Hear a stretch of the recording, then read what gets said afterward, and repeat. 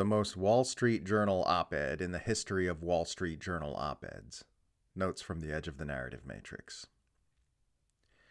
Democrats supported Trump's most evil actions and opposed his best ones. They cheered when he bombed Syria and supported his Cold War escalations against Russia, and looked the other way when he targeted civilians with sanctions and blockades in Yemen, Venezuela, Iran, Syria, North Korea, and Cuba. Meanwhile, they screamed bloody murder whenever he talked about pulling troops out of Syria, Afghanistan, and Iraq. The two parties do not oppose each other, they egg each other on and push each other to be worse. It's actually worse than a one party system. It's a system in which two parties not only align on all the most depraved agendas, but push each other to be more depraved than they otherwise would be. The Wall Street Journal put an article out a few days back titled In Defense of the Defense Industry, subtitled Populists of the right and left attack U.S. companies that make weapons. Who do they think protects us? And it's exactly what it sounds like the author defending war profiteers like Raytheon and Lockheed Martin from critics of the military industrial complex. It's easily the most Wall Street Journal thing that has ever happened. Definitely read it if you get a chance. There's nothing I can say here that will do it justice. The Western press believe it's Elon Musk's job to help the US win a proxy war against Russia because the Western press have unanimously decided that it's their own job to help the US win a proxy war against Russia. They're so involved in the war effort, they think everyone is. It will never stop being hilarious when Westerners who live in the most propagandized civilization in history criticize China for not having a free press. Gets me every single time. People are like, no, no, you don't understand. We have a free press in the West. It's just that any mainstream reporter or pundit who doesn't say what their government wants them to say will be fired immediately and permanently destroy their career.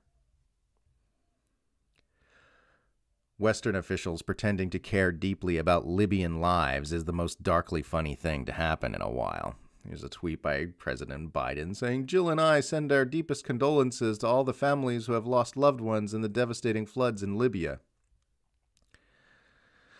While we're on the subject, Libya is the single strongest argument against the claim that NATO is a defensive alliance.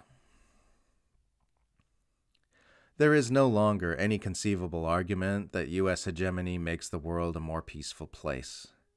It was an argument that could have been made back before it became clear that the U.S. will escalate nuclear brinkmanship against any nation which refuses to bow to its planetary rule, only because the unevidenced claim that the world would have been more warlike in an alternate timeline without U.S. unipolar control is impossible to conclusively disprove.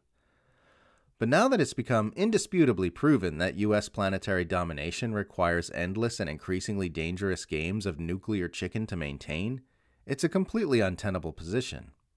The facts are in, and it is now clear that US pursuit of unipolar hegemony is a one way ticket to nuclear Armageddon.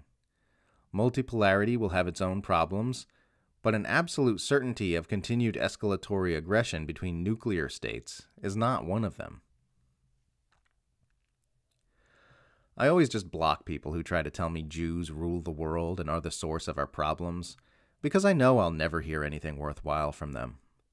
They've frozen their worldview in a state of analytical infancy that's incapable of understanding the real issues.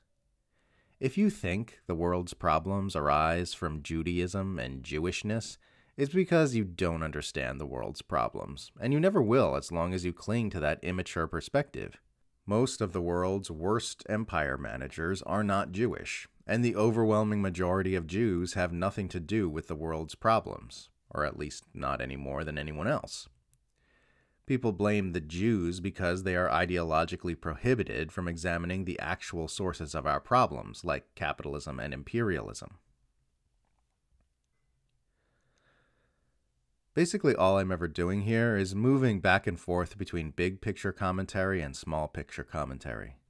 Zooming way out to talk about the general problems I see in our civilization and our species as a whole, then zooming back in to show how those big picture dynamics manifest in our small picture day to day news stories, then zooming back out to show how those small picture dynamics tie into the big picture.